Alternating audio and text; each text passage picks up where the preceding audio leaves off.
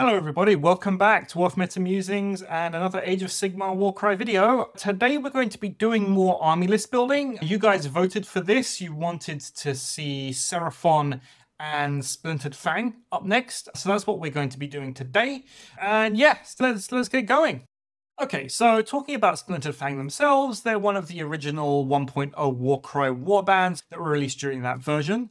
Personally, I think they took a very big hit on the move from Warcry 1 to 2nd edition, simply because their whole gimmick and their whole shtick, the snakes themselves, they are very fragile. And with the points rebalancing, they lost a bunch of defensive stats and they gained a bunch of points. They're now 90 points apiece. So you're not able to swarm the board with your snakes anymore.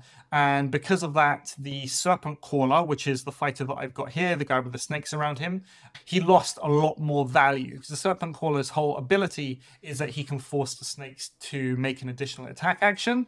But if you're no longer allowed to bring a lot of snakes, and why would you? They are very fragile, and their damage, especially with the prevalence of counter in the game nowadays, has really taken a hit. So that's really reduced the stock of the Serpent Caller himself. Talking about the chaff a little bit, Splintered Fang chaff is okay. They're in that strange kind of middle ground for chaff units where they're not cheap enough for you to really just swarm the board with a whole bunch of rubbish fighters, but they're not expensive enough where they would get the offensive stats to go with that. So they do have 10 wounds, which is nice, but they've got very average offensive and defensive profiles. So yeah, they're probably some of the weakest fighters in the warband, and they really won't be achieving all that much outside maybe going, getting objectives, and just providing more models and more activations for you to use for your other fighters. The Splintered Fang themselves have nothing amazing on the damage front. Again, very average damage across the board. Even on their leader, they're looking at okay damage for a leader model. That being said, they do have a lot of three inch range. They do have a lot of whips, and the idea is that using those whips, they'll be able to do damage from three inches and try and push up their survivability that way whilst not being able to be attacked back.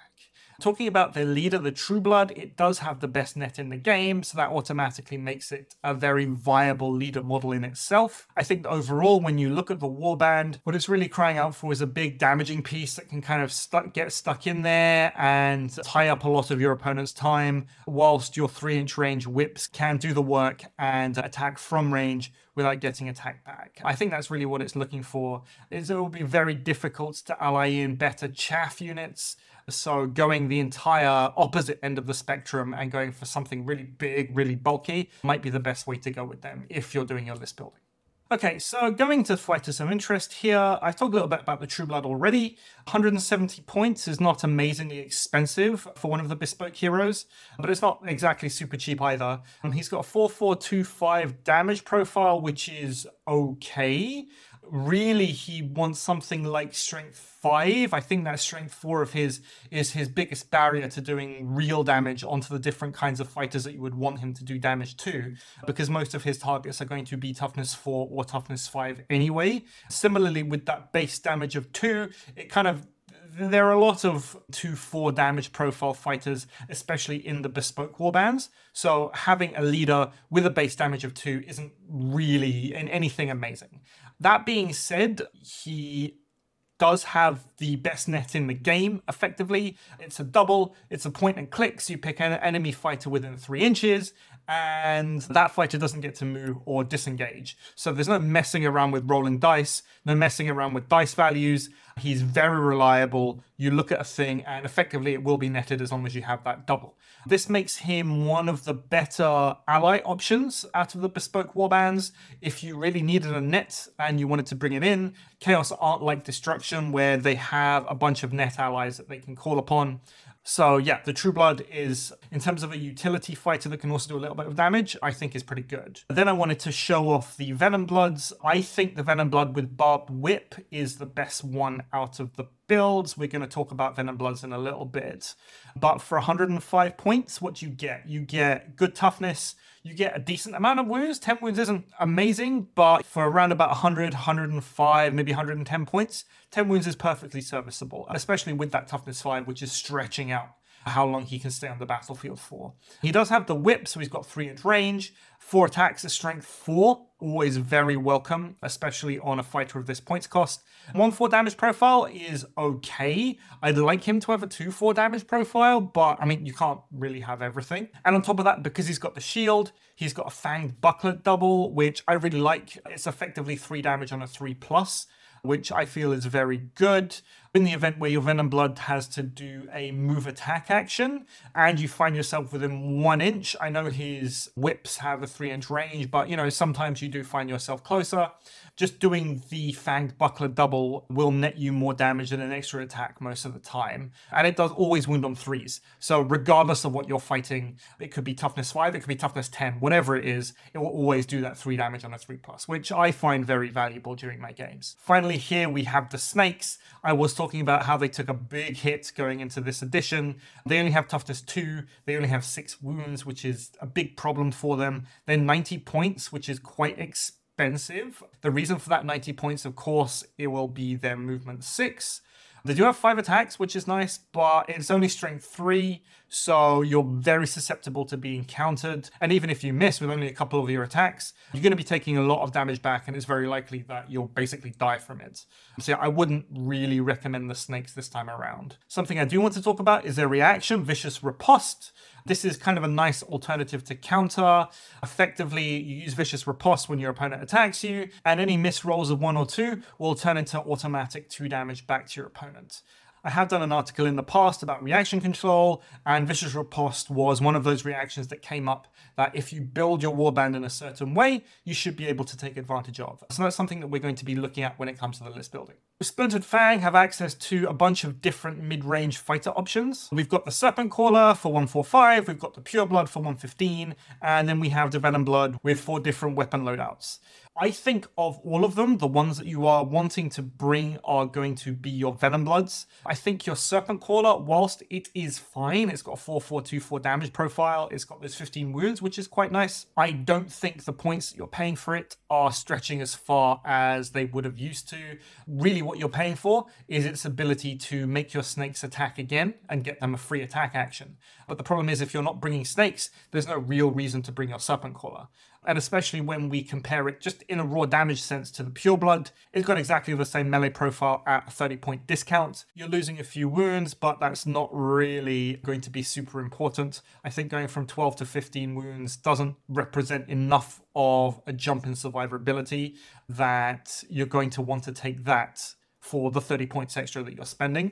The Pure Blood does have an ability, Relentless Killers, so if it kills a guy, it gets to make an extra move or attack action a lot of fighters have this, and pretty much most of the time, you're going to be wanting to put your dice into onslaught to get those that extra damage off to kill the guy in the first place. So it's not really that high an impact that it's something that you would want to build around or take the Pure Blood specifically for. So effectively what we're doing then is we're going to be comparing the Pure Bloods to our Venom Bloods. I've already talked about the Venom Blood with Barb Whip and the Shield. I think for 10 points cheaper, the loss of one basic damage, you can kind of work around that. You lose two wounds, but overall, because you're going to be wanting to get those extra guys into your Serpent's Fang warbands, I'd probably always go with the whip anyway. That three inch range and the toughness five, it really represents a huge survivability boost over your pure blood that just those two wounds just don't cover. On top of that, it is worth noting that your Venom Bloods are going to be movement 5 versus the movement 4 of your Pure Bloods. So yeah, I would basically be looking into your Venom Bloods if you were going to build a strategy specifically around your medium range fighters. Here I've got a couple of lists that I put together. The first one is, like I was just saying, actually, it's really revolving around that 3 inch range of your Venom Bloods to do damage at a very safe range. We've got the True Blood in there, which is your hero that you want. We've got the Great Bray-Shaman with its Devolve ability, and Devolve will be able to pull enemy fighters into range of your whips, whilst at the same time keeping those enemy fighters out of range to counterattack you, which could be very useful in something like this. I've put in the Dark Oath War Queen. The whips themselves already get four attacks, which is very good, but the War Queen, if it's in range of those whips, they go up to five attacks, then they can onslaught for six attacks, and suddenly you're doing a lot of damage at a range where you wouldn't normally be able to be attacked back. The idea is with this warband, most things are going to be hitting at three inch range. The True Blood hits at two inch range, but your Venom Bloods will be at three. So you can really keep out of the way of opponents' attacks. You use the Dark Oath War Queen to buff the rest of your fighters, and you try and spend as much of the game as possible out of range to really extend how long your fighters are going to be on the battlefield. The second list I've got here is reaction control. This is an extension of the list that I talked about in my previous video, and I'll put the link down in the description below for you guys to check that out. Essentially, what we're going to be doing is we're going to be using as much of either counter or Vicious Riposte as possible. That's why we have a ton of Clear Bloods with shields in here. Again, we're going to be going Venom Bloods with whips. Your 105 point Venom Bloods, they'll have toughness 5, which is very good. True Blood has toughness 4, which is kind of okay, but he's got range 2, so he can use that 2 inch range to keep out of trouble. All your fighters, they'll have the Bladed Buckler double, so they can use that to put some extra damage on if they're using their actions mainly to use Vicious Riposte or counter. It's a very large warband need that if you're going to be playing any kind of reaction control warband because you really need to force your opponents to waste their actions trying to kill your chaff and then you can go in there with the venom bloods and do damage after that. So that's something I think might be interesting. It's not going to be for all battle packs. I think this is something that would do pretty well on the Rumble pack, but you might struggle in regular games with a real lack of hard hitting damaging pieces talking about your hard hitting damaging pieces, despite me playing around with the whips and with the reactions and all that kind of thing, that is really what Serpent's Fang need is a very hard, very fast ally that they can use and they can rely on it to do a lot of damage. So really what we're thinking about here is either the Varanguard, Fomoroid Crusher, or if you wanted to keep up with the range idea, you can take a Centaurian Marshal. Any of these fighters would be ideal. I would be leaning more towards the Marshal or the Varanguard, simply because they do have that movement 10 that you can use to get places and pressure your opponents, whilst the rest of your warband gets in range, maybe with their whips or to go and get objectives. Moving forward on to Sylvaneth. Overall, they have a very versatile roster. They have a lot of different and very useful abilities on their chaff units. Some people have compared them to Gloomspite Gitz in that every single one of their basic guys have an ability that would be useful at different points in the game. So they really represent a nice list building challenge as to which fighters you want to take and what abilities you want to take in terms of utility. You can lean more into nets, you can lean more into teleport, you can lean more into damage boosting. They have access to the Kurnoth Hunters, which of course gives them some very tough very damaging units, which is always welcome. And they also have access to some very good in-faction Bladeborn fighters that they can use to really push that efficiency of your guys. They did quite well very early on in Warcry 2's life. I think there was a list at Nova which came top five or top eight with Sylvaneth. It doesn't seem like anyone's managed to replicate that success, but I, I mainly put that down to people just not playing the faction all that much. If you wanted an all round solid faction with decent fighters, I think Sylvaneth represent a pretty good, pretty good option for that. Going on into the fighters of interest, we've got your Revenants here, your Spite Revenants and your Tree Revenants, both the hero versions and the basic versions. They're going to kind of be your bread and butter of your warband. The Spite Revenants have Shrieking Terror, which is a net on a 3 plus. It is a double, which is nice. Its range, it doesn't have a fixed range, so its range is going to be equal to the range of the double that you're using. So that's a bit of a positive and a bit of a negative. If you're rolling low doubles, then you have to get very close. But if you're rolling high doubles, say double five and double sixes, that's comfortably far enough away where you can net opposing key fighters and still keep outside of their melee attack range. So I think that's that's very powerful and is very good from a utility standpoint. Your Tree Revenants are going to have your teleport. They've got the walk for spirit path triple. Effectively, you remove them from the battlefield and then place them anywhere else on the battlefield more than five inches away from enemy fighters. Of course, you're going to be using this to go and to get remote objectives if you're playing objective games or remote treasure if you're playing treasure games really force your opponent to come to you and to have to fight you and just give them an extra step if they wanted to get those treasure tokens. My personal thought on this is that Tree Revenants are fine for 65 points. I think they're just too squishy to go over to pieces of treasure and then to be expected for them to survive for the entire game with that treasure. Remember, their movement will be decreased by picking up that treasure. So as they run away and to try and get back to your fighters, opposing fast fighters will be able to catch them, and that might be a problem for them. Finally, I wanted to highlight the Kurnoth Hunters here. I've chosen the Kurnoth Hunter with Greatsword. It represents one of the most damage efficient fighters that you can bring in the list. It's not the most damaging fighter you can bring, but for 170 points with a 4525 damage profile, that's really good. The 28 wounds is really good. The toughness 4 is really decent. It's got a weighted average damage of 7. That's what you get for that.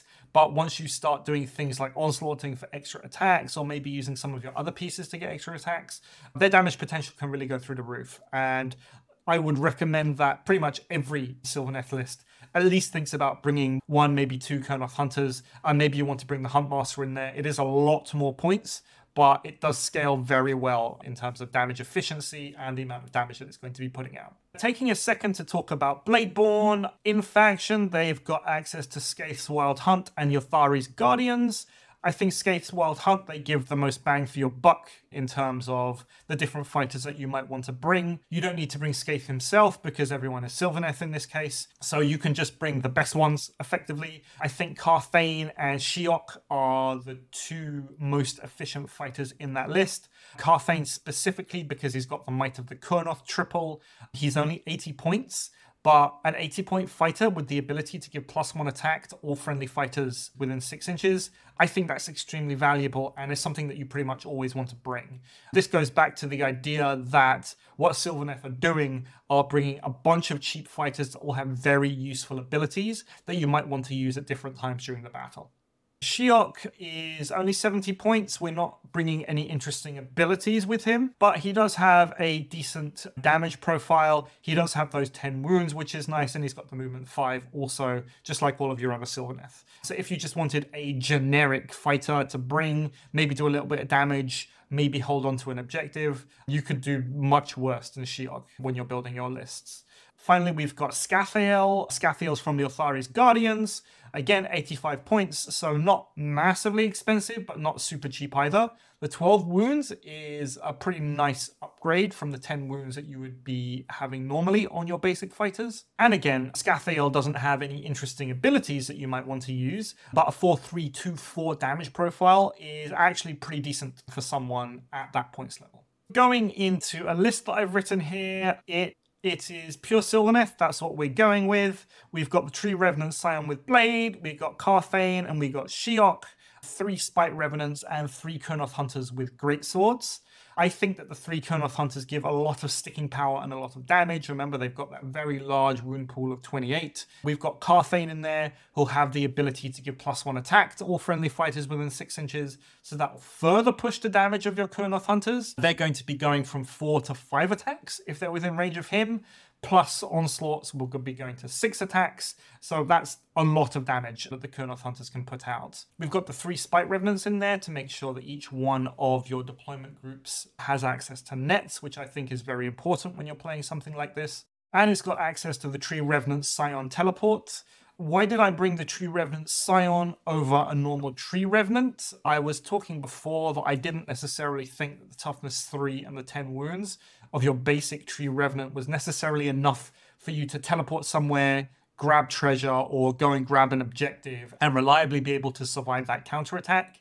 I think that the 15 wounds is a lot better than the 10 wounds, and that'll give you at least one more battle round on the field, which gives your Kurnoth Hunters and the rest of your warbands time to kind of get up there and support your Tree Revenant wherever it is. If you wanted to, you could downgrade the Scion to a normal Tree Revenant, and the points that you open up there will enable you to upgrade one of your Kurnoth Hunters to a Hunt Master now, the Hunt Master represents a big step up from one of your Kurnoth Hunters. It's a lot more expensive, but it does give you a lot more damage, especially when combined with Carthane and his attack boost. I don't know which is necessarily better if you want the Revenant Scion or if you want the Hunt Master. Only testing is going to tell from that. But I think it really depends on the missions and the battle pack that you'll be playing. Okay, that's it. That's it from me for today. Day, thank you very much for watching. That's really my take on both Sylvaneth and Splintered Fang. I hope that that was something that was useful for you and something you can take forward in your games and maybe try some of those out. As always, if you like what you see, please don't forget to like and subscribe. And uh, yeah, let me know. Let me know what you think about those lists that I put forward. If you've got any cool combos or any lists that you want to share from both Splintered Fang or from Sylvaneth, that'd be really interesting to see. If you think maybe I've missed something in my analysis of these two warbands, that would also be something nice to share with the group. Or if you think that I've gone totally crazy and the list I put forward are complete garbage, that's also something that I'm interested to hear. But yeah, that's it. That's it from me for today. Thank you very much for watching, and I'll see you next time.